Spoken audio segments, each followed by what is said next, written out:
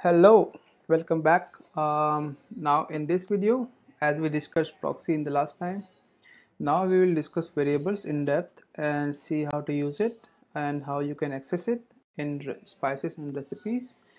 And uh, what are the possible ways where it can be really useful? So uh, let's go to first variables and see how to add variables. So here like I have added some variables that I use most frequently so you can click on new variable and give this a name demo variable. And I'm just going to type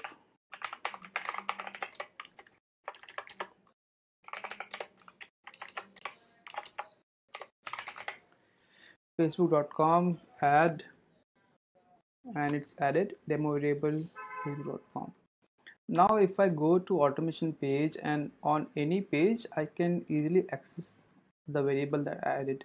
So here you see this three horizontal line icon. When you click on that you will be seeing all your like variables that you have added. So if I click on demo variable it will be added in in the field.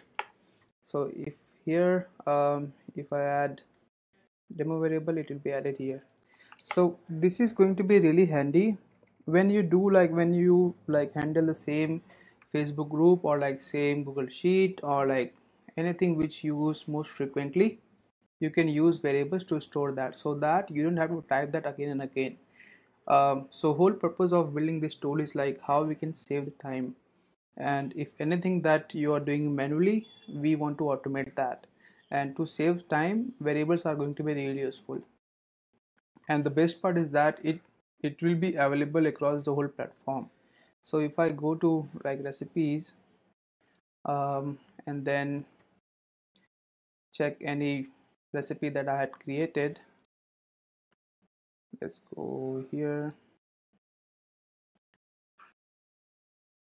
And if I click here or any like click on any node here you, you will see always see insert variable button. And if you click here you will always be able to access all the variables that you've added see I have added demo variable I can see that right? So uh, if I click on demo variable this will be like changed. And you can access it from on any node or any spice. So it's really useful. Now another your feature another like part where it's going to be useful. Let's say you are an like you are an agency or you have a team who is using TexAu so you can use variables to store cookies. So let's say I have like Alice and Bob two people are working. I can add like Alice FB cookie then some variables and then I can add Bob I like cookie some values right? And and now when I access like when I go to LinkedIn automation let's click on LinkedIn job extractor um, session cookie I can select Bob li cookie and it will be added. So you don't have to like go and ask Bob that share me your cookie. I want to use your account. Just get his cookie and store it in variables and you can use that right? So this is like this is again very useful in in, in case of like if you are a team of people who is using TexAu for automation and uh, it's always a good strategy to like uh, use different cookies for extracting data right? So um, that's where the variables are going to be useful. And linkedin cookies don't really expire like very early. Like it won't expire in two or three days. So you can use that. And um, when alice will come like when he will log in or like when you're accessing alice account or Bob's account just uh, if the, you see the cookies expired just go back and like they grab the new cookie and then you can store it and it will be available for again for next few days. Uh, we are trying to like build a feature where we can like automate the grabbing cookie as well. So that thing will be gone. You don't have to ask alice or bob about your cookie. So yeah this was variables. Again very useful very useful. It will be available across the whole platform. You can insert variables anywhere. You can store numbers. You can store any data. You can store various uh, urls doesn't matter. It will be all available across the whole platform. Now there are like two two uh, things which are like local variable and global variable. So um, local variables are only accessible in the recipe that you are accessing. So if I click here here I will see all the global variables. And here you can create local variables.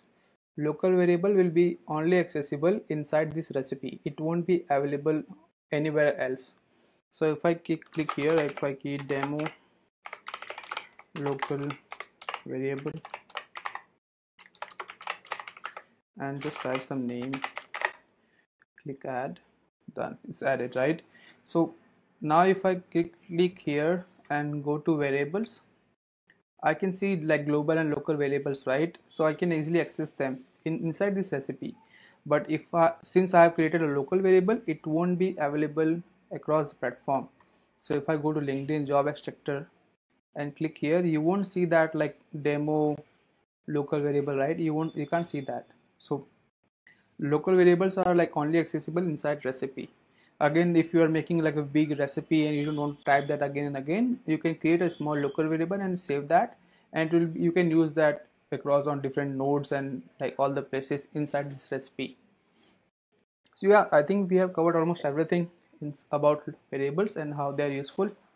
In case if you if you have any questions if you don't understand any part feel free to ask us. Uh, just send a message using this chat icon and we'll be able to help you yeah so this is it. Thank you for watching